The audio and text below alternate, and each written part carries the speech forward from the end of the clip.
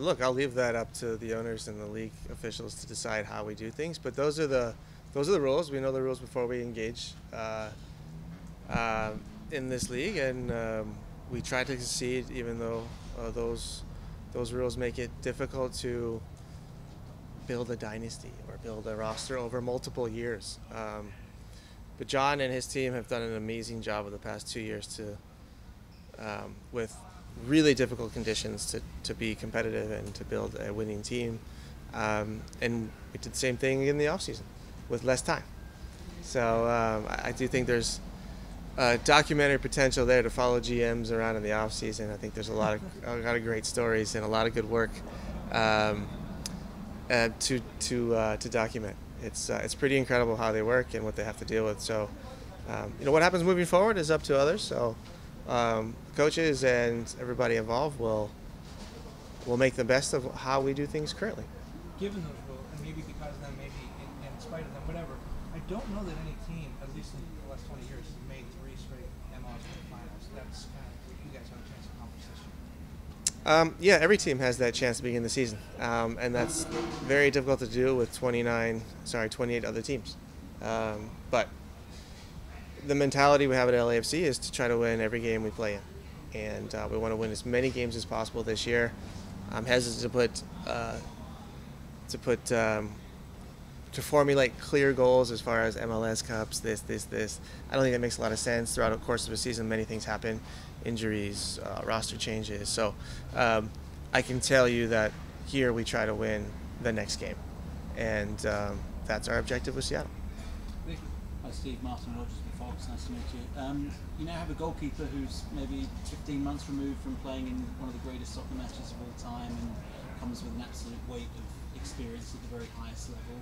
Apart from the obvious, what does he bring to this group when you have a, a young bunch of guys who can learn from someone like him? Uh, yeah, leadership. And um, something that we've always tried to do is, is uh, onboard uh, leadership. And leadership is something um, very valuable in this sport and in, many team sports uh, environments. And, and, Hugo is that.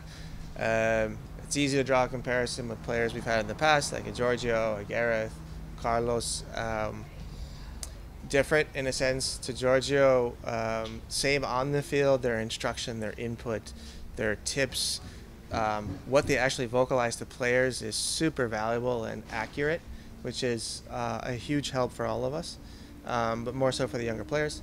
Um, and to be reorganized, and I've been uh, very impressed with Hugo. Um, um, I don't know why I'm impressed because I knew that was there, uh, but it's it's it's a pleasure to see it in real time. Um, and off the field, different than Giorgio, I think, um, a silent leader off the field um, in his own right, and Giorgio is uh, is 24/7.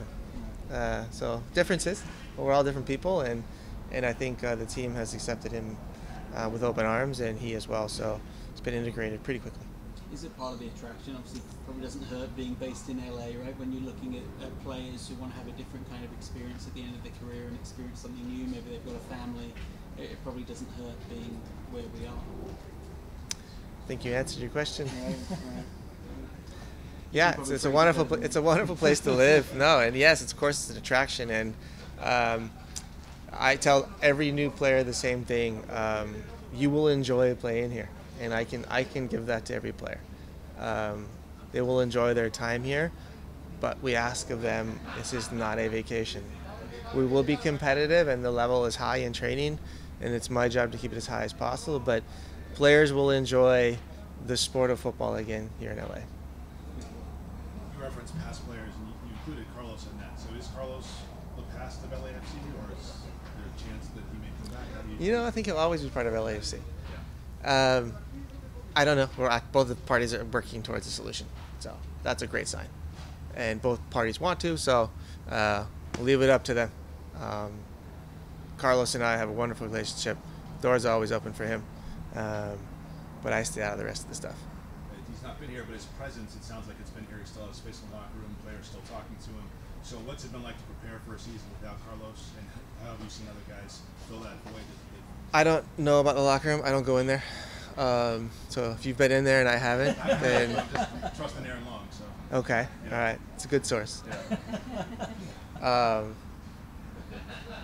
Yeah, look, he's here for six years. He was our captain. Uh, of course, he's going to have a presence. And we don't erase people and people out of our memory here.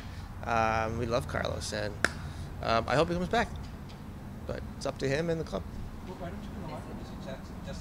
That's the player space, yeah. I hated it when coaches went in locker rooms when I was a player. Um, and so I am returning the favor. Well, I guess I'm not returning the favor. Thank you. The group you have here, how do you feel about them? Where are some question marks for you still? Where do you feel like you guys have some strengths? I think our depth is is uh, you know our weakness. Um, I feel really good about our our first group and uh, a couple behind that, and then and then we're pretty young, um, and so our depth is is um, part of the process in MLS and part of the challenge, um, and that will be a challenge this year to stay healthy.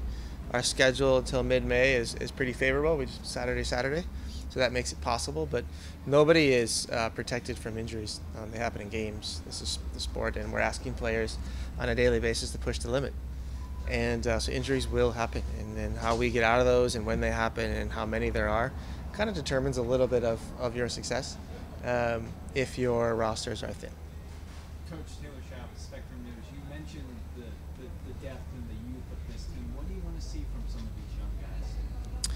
i want them um, to take the i've got nothing to lose brave attitude which is something we always try to do with all our players we want to be the aggressor at lafc we want to play full, uh, forward um, score goals, and uh, be fearless. And that's what I, I expect from younger players. I expect younger players um, to train harder than the older players, more experienced players, I should say. They need to work on their deficiencies. They need to be like sponges and soak up everything at all moments.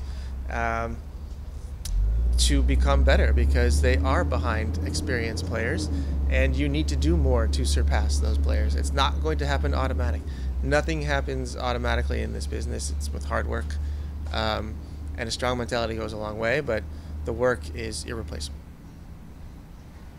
Also, Mar, is he ava- able to play like he's ready to play this weekend? Or physically is he okay? And Tomas? And Omar? Angel? Um, Uh-huh. yeah, he had a, he had a long off season, longer than others, and uh, hadn't had a competitive match for a while. So we're, we're working on his fitness, but he's able to play. You talk about the depth. Good thing you don't have 53 matches this year. Yeah, but look, going into last season, we weren't guaranteed that, Yeah. And so that's something you work towards. Um, um, if you look at now the Champions Cup, I believe it's called, some teams are done with after two matches. So So, you, speaking of that, I have to ask you. Are you gonna wade into the U.S. Open Cup's controversy? I mean, you uh, I, I can't. Okay. It's fair enough. Right, we'll go to Zoom. Go ahead, Scott French. Hey Steve, I've got two questions for you. Um, first off, with, with so many, uh, so much changeover, how has the acclimation process worked? How uh, how integrated are the newcomers, and how do you feel about your depth? Hey Scott. Um, yeah, I'm, I love the integration process here in LA. It's it's awesome. Our team is. Um, I've said it before. Uh, we have a rule no. Um, so, our team is is is pretty amazing in onboarding new players and very open, um, and uh, a lot of great leaders in that locker room and, and communicative people in general. And so that makes that process uh, very smooth and and positive. Um, yeah, the depth is is what it is. I I think it's a great opportunity for a couple of young younger players to step up and and to prove they're good enough, and it's what we're asking them to do. And I'm really looking forward to their answers. And lastly, uh, that, that you aren't in the Champions League, what ways has that changed your your preparation, and what ways has that been a plus? It does change the preseason a little bit. Um, last year, the message was to the players we need to be a little more focused on, at times, conserving energy, meaning tactically understanding. You can't press for 90 minutes, so there will be some uh, moments in a deeper block. Um, but making good decisions, not getting caught in between, not getting caught in these crazy counterattack matches. Uh, and so being a little smarter and conservative tactically um, was the message last preseason. This year is a return to our model, so we're hoping to be quite aggressive and uh, and to get after teams. Um, and that is the the approach in preseason, and um, doesn't erase the other side of it, but I think that is what we're allowed to do now. Thinking Saturday, Saturday till mid-May. Next Next question from Andy Diosa. Thanks, Crystal. Hey, Steve. Uh, I was talking to Brian Press the other day and he was kind of asking about the LAFC Seattle rivalry, which seemed like it just blossomed from the beginning organically. Wanted to know what your thoughts were on that. Obviously, you guys get the better of them in the postseason last year. He mentioned that he had Denis Bouanga's goal up on uh, on his computer all through the holidays to remind himself and remind his team of the motivation. Just want to know your thoughts about the match.